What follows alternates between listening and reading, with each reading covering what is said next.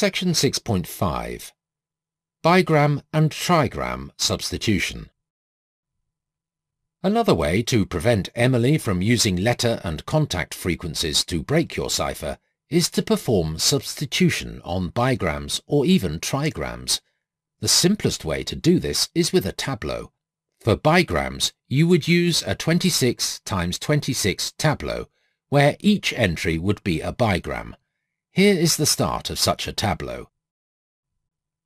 The substitute for AA would be BL, the substitute for AB would be TC, and so forth. For trigram substitution, you might use a booklet with 26 such tableaus, one for each first letter of the trigram. This type of substitution can be used by itself, or it could be combined with another method, such as polyalphabetic substitution. Used alone, bigram substitution is rated 3, and trigram substitution is rated 4. Bigram substitution, followed by polyalphabetic substitution with secret well-mixed alphabets, is rated 5, and trigram substitution, followed by polyalphabetic substitution with secret well-mixed alphabets is rated 6.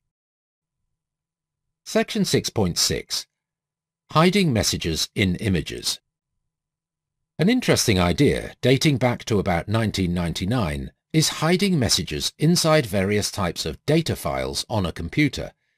This is a modern version of steganography, section 2.2. Let's look at one such method, hiding messages inside a bitmap or BMP file. Bitmaps are images that are stored pixel by pixel. The most common bitmap format represents each pixel by 3 bytes that specify how much blue, green and red color depth is in that single dot on the image. This is the device-independent order in the Microsoft standard for bitmap images.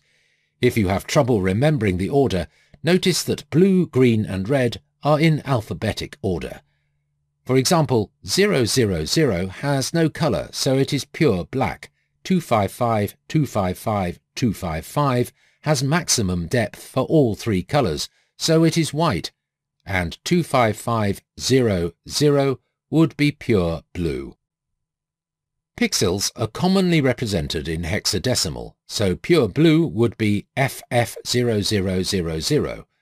In some computer languages, this is written $FF0000 or X apostrophe FF0000 apostrophe, or even 0x FF0000, since 255 in decimal is FF in hexadecimal. In some languages, the order of the color components is reversed.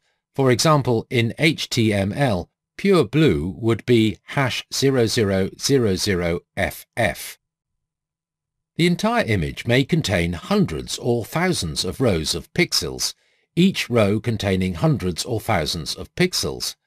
It is not unusual for a bitmap to contain 3000 rows of 4000 pixels each.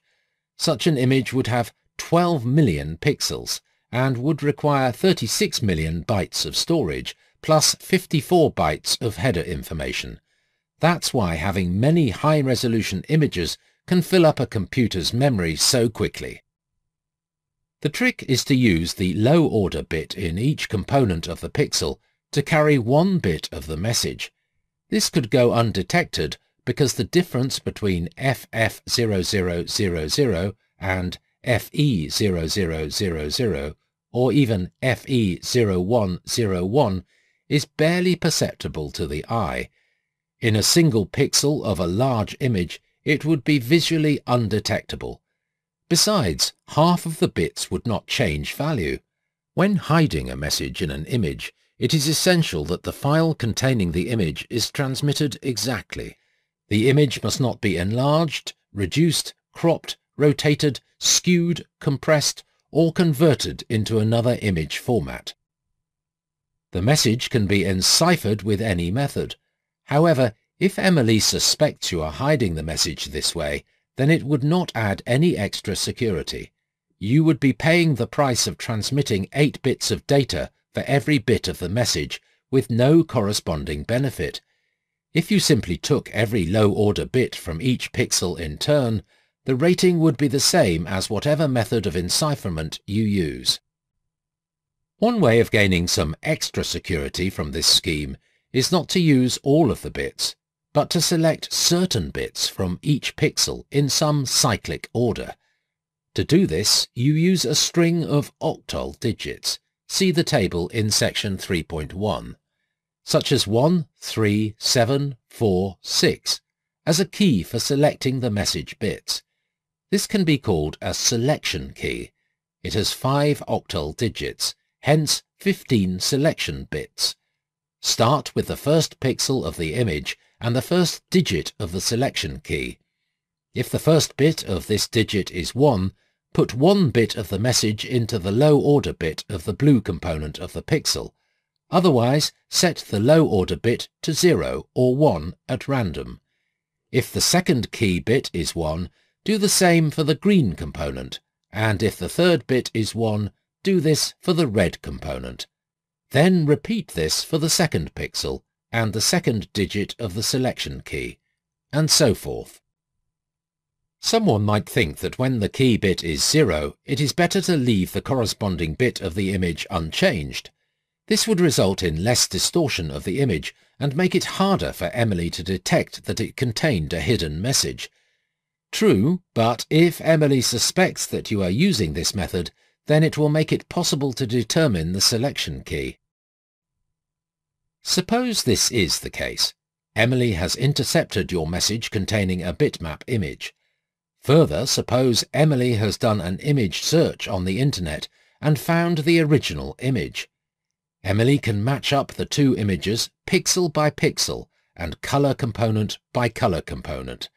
This enables Emily to make a map of where the two versions of the image differ.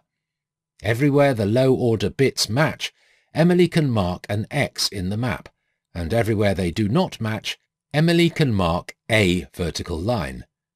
Emily can then try each possible length for the selection key. When the correct length L has been chosen, and the marks are lined up at intervals of L pixels, then every column where the selection bit is 0 will contain all x's, while the columns where the selection bit is 1 will contain half x's and half straight lines. For example, again using the selection key 13746, you might see for every column that contains a vertical line, the corresponding bit of the selection key must be 1.